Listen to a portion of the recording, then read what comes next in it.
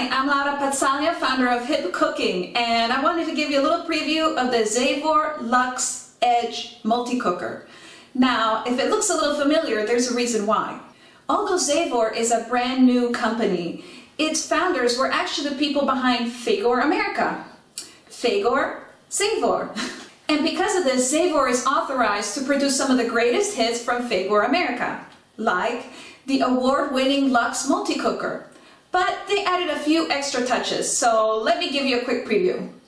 So just as you'd expect from the Lux family of multi-cookers, uh, this multi-cooker pressure cooks at high and low pressure, slow cooks at high and low temperature, it makes yogurt, uh, it can steam, it can brown and saute, and am I miss forgetting anything?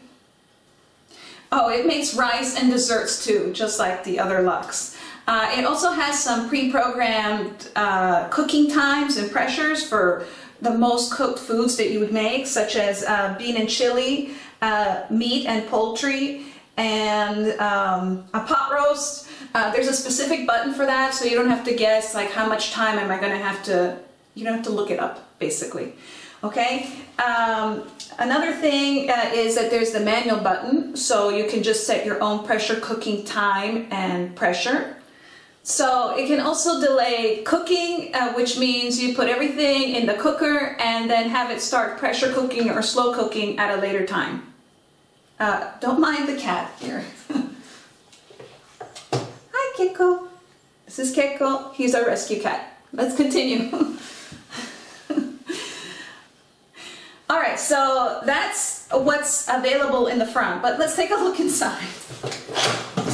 Kiko, can you please?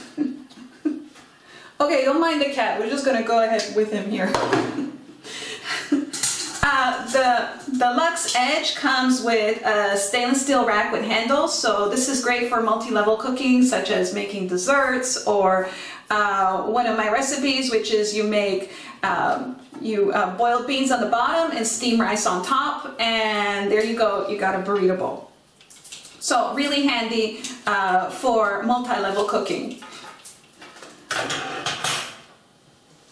The inner pot is stainless steel and it's uh, one of my favorite features for inner pots because um, previously many manufacturers didn't do this is that it has the max two-third and half full lines. If you're new to pressure cooking, um, one of the things you should know is when you're pressure cooking, uh, you can never fill uh, the inner pot completely full because there needs to be space for steam to build and also there's a safety issue. You don't want the food to come to the top and block the safety valves in the lid. So here they have marked uh, max two-thirds full. That's uh, the max uh, cooking line for just about any food. okay, and we have the max half full line, which is the uh, the max amount of uh, liquid and foods you can do for beans, uh, grains, and fruits. Okay, so that's really handy. Let's get the cat out. Thank you, Keiko.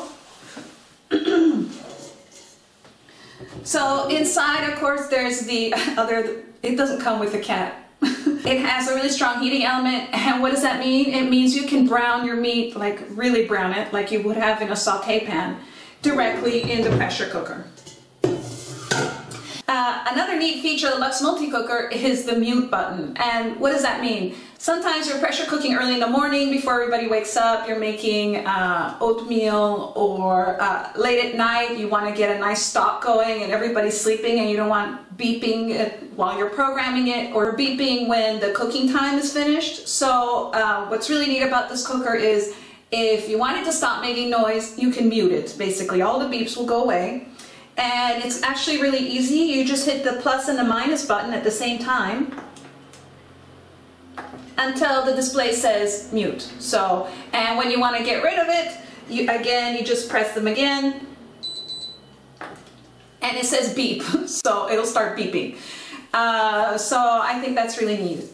I'm really excited to uh, review this for you. Uh, I know I really like the original Lux, so um, I'm going to find out all the other little uh, things that uh, they've added to it, and I'll be posting a review about this soon. Meanwhile, don't forget to visit Zavor on Facebook and Instagram. Ciao!